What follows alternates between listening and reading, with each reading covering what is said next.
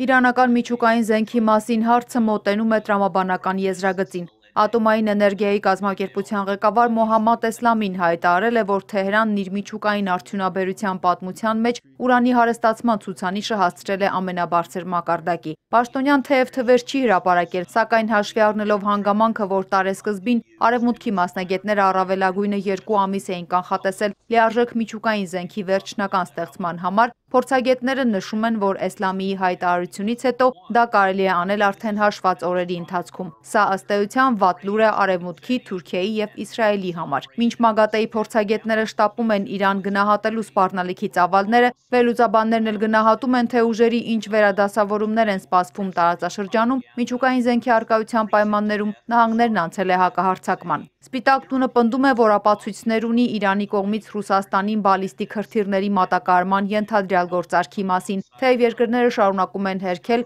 մեղադրանքներն էլ անհիմն որակում։ Մենք ունենք ապացույցներ, ըստ որի Թեհրանն ու Մոսկվան պայմանագիր են կնքել, որով Ռուսաստանը բալիստիկ հրթիռներ է ձեռք բերելու Իրանից։ Միացյալ Նահանգների կենտրոնական հետախուզական վարչության ղեկավար Ուիլյամ Բըրնսը օրերս հայտարարել էր, որ Իրանը Ռուսաստանին անօթաչուներ է տրամադրել Ուկրաինայի հետ պատերազմում կիրառելու համար։ Հակաիրանական հայտարարություններին արձագանքել է Իրանի արտգործնախարարության խոսնակը, բոլոր պնդումները անվանելով քարոզչական պատերազմի մաս։ Ամերիկացի պաշտոնյաները շարունակում են հակաիրանական գործողությունները եւ կասկածի տակ դնում պաշտոնական ու ռազմական ոլորտում Իրանի եւ Ռուսաստանի գործակցությունը։ Ամերիկացիների քարոզչական արշավը, որը նպատակ ունի ճնշել Իրանին, ավելի է սրում իրանաֆոբիան, այդ կերպ փորձ անելով կոծկել սեփական ռազմատենչ քաղաքականությունը։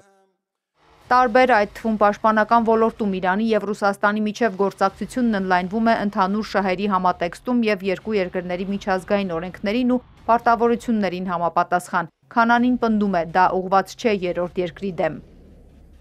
Իրանն իր արտաքին քաղաքականությունը վարում է անկախ առանց որևէ մեկի թույլտվությունը ստանալու, հիմնվելով ազգային շահի վրա, հարգելով միջազգային օրենքներն ու կանոնները։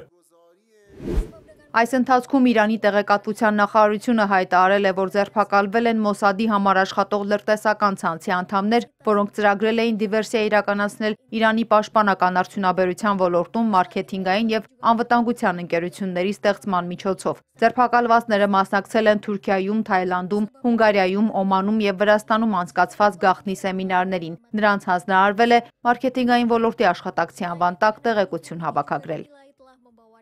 Ֆրիդա Ղազարյան, Էպիկենտրոն։